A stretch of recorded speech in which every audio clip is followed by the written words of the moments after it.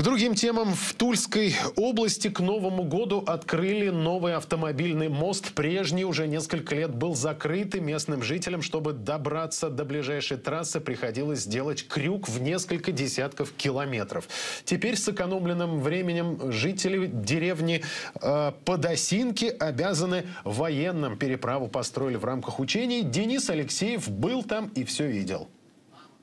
Когда старый железобетонный мост пришел в негодность, вот что от него осталось. Жителям деревни Подосинки долгое время приходилось делать крюк почти 30 километров, чтобы добраться до областного центра Тулы и федеральной трассы. Новый мост стал спасительной переправой и подарком к Новому году для тысячи жителей. Всего 36 метров протяженность, шириной 7, реверсивное движение, но для местных жителей это все мелочь. Люди работают.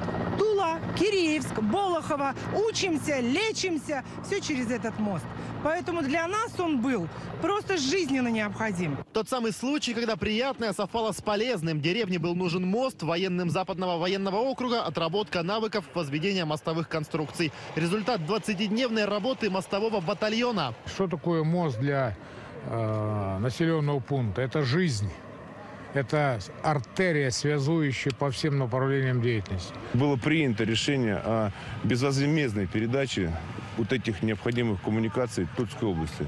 И, конечно же, мы очень благодарны э, вооруженным силам нашим, э, тем э, парням, которые здесь в тяжелых, в тяжелых условиях создавали необходимые эти коммуникации. В рамках таких военных учений в регионе за один раз появилось три моста сразу. Два автомобильных и один пешеходный. Денис Алексеев, Никита Корнеев и Стас Курашов. Вести. Тульская область.